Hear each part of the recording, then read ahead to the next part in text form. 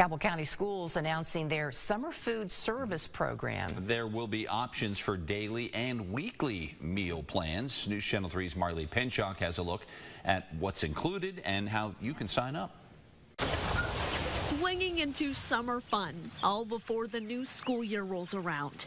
Jessica McFarland is a mom of a soon to be preschooler. A big step she's preparing for, not rushing in one bit rather focused on just keeping up with her little one. And to make sure kiddos stay energized, nutrition is vital for families who depend on school lunches to nourish their children. There are options that carry over into summer through some school districts.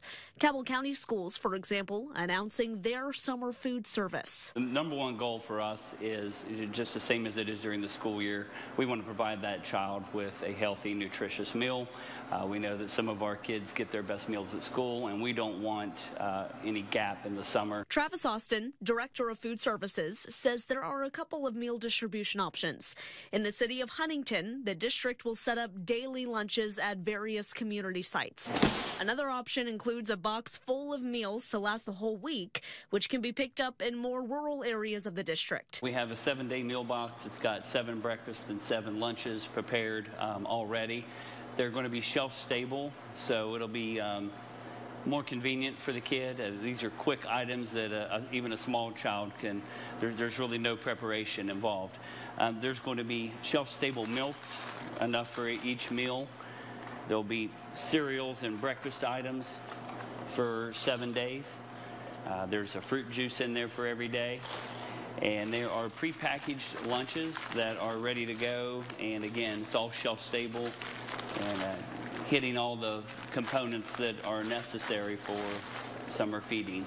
A program that McFarland says she is going to consider. I know when kids eat good, then they think better, and it's just a good idea to keep the children healthy and keep them energized and keep their brains working. In Cabell County, Marley Pinchuk, WSAZ News Channel 3.